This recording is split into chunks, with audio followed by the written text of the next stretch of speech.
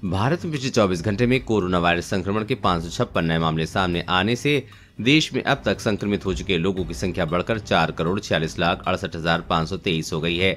वहीं उपचारधीन मरीजों की संख्या दो सौ बावन मामलों में गिरावट के साथ छह हज़ार सात सौ बयासी रह गई है। केंद्रीय स्वास्थ्य मंत्रालय की ओर से शनिवार को सुबह आठ बजे जारी अद्यतन आंकड़ों के अनुसार संक्रमण से सत्रह और मरीजों की जान गंवाने से मृतक संख्या बढ़कर पाँच लाख तीस हज़ार पाँच सौ सत्तर हो गई है। इन सत्रह मामलों में वो पंद्रह भी लोग शामिल हैं।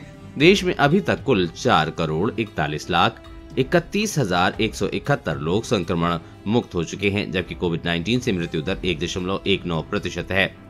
अद्यतन आंकड़ों के मुताबिक देश में कोरोना वायरस संक्रमण के उपचारधीन मरीजों की संख्या घटकर छह हज़ार सात सौ बयासी रह गई है, जो कुल मामलों का शून्य दशमलव शून्य दो प्रतिशत है।